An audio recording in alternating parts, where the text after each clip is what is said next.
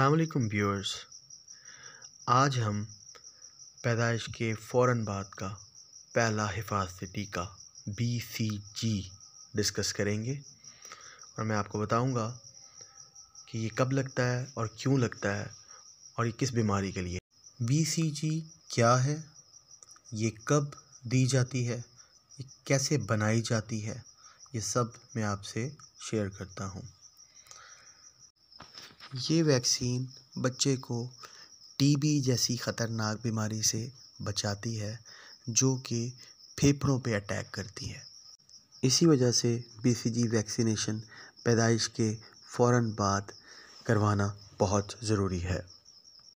BCG के साथ साथ अब ईपीआई शेड्यूल में हेपेटाइटिस बी के अगेंस्ट भी वैक्सीन शामिल कर दी गई है, जो कि बीसीजी के साथ ही पैदाइश के फ़ौर बाद लगाना बहुत ज़रूरी है।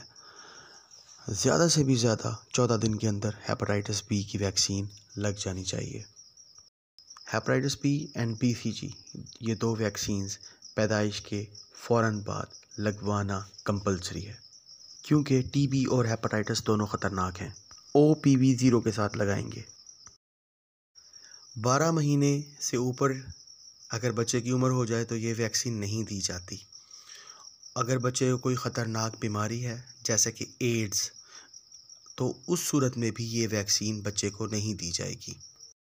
अगर इस बात का शक हो कि बच्चे को कोई ख़तरनाक बीमारी है या एड्स है तो उसका टेस्ट करवाना बहुत ज़रूरी है। उसका टेस्ट करवा लिया जाए। अगर रिज़ल्ट पॉजिटिव आए तो ये वैक्सीन नहीं दी जाएगी। अगर रिज़ल्ट नेगेटिव आए तो फिर ये वैक्सीन दी जा सकती है। इसकी सिर्फ़ एक डोज़ दी जाती है।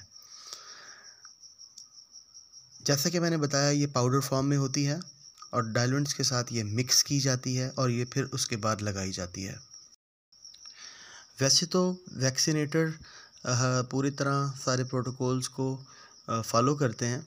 तो मैं आपकी नॉलेज के लिए बताता चलूँ कि वैक्सीन और डायलेंट दोनों की कंपनी सेम होनी चाहिए और इनका टेम्परेचर भी सेम होना चाहिए। तमाम अमाउंट जो डायलेंट का होता है, जो लिकर होता है, जो पानी होता है, जो एक एम्प्यूल में होता है, उसको पाउडर में मिक्स करना है। मिक्स करने के बाद इसको, इस ये वैक्सीन जब तैयार हो जाती है तो उसको इंजेक्ट करना है। और छः घंटे के बाद, क्योंकि इस वॉयल में बीस डोजेज़ होती हैं, चाहे जितनी भी डोजेज़ पड़ी हों छः घंटे के अंदर जितनी डोजेज़ इस्तेमाल हो गई ठीक जो बाकी रह गई, उसको ज़ाया कर देना बहुत ज़रूरी है।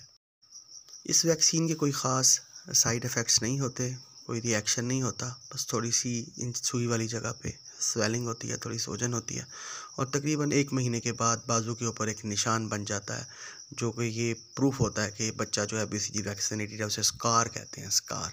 उसका निशान जो है वो अभी आपके सामने पिक्चर में शो होगा। और इस वैक्सीन को दो से आठ सेंटीग्रेड के बीच में रखा जाता है। ये लाइट सेंसिटिव भी होती है इसको एक डार्क कलर की शीशी में ये वैक्सीन होती है। और प्रॉपरली इसको आईएलआर में इसकी पैकिंग के अंदर रखना बहुत ज़रूरी होता है ताकि इसके प्रोटोकॉल जो हैं वो मेंटेन रहें। और आ, इसकी जो पैकिंग है उसी में से रख कर फिर आईएलआर में पुट किया जाए ताकि प्रोटोकॉल्स प्रॉपरली फॉलो हों और वैक्सीन जो है वो महफूज रहे। अब आपके सामने बी सी वैक्सीनेशन स्कार है जो आप देख सकते हैं।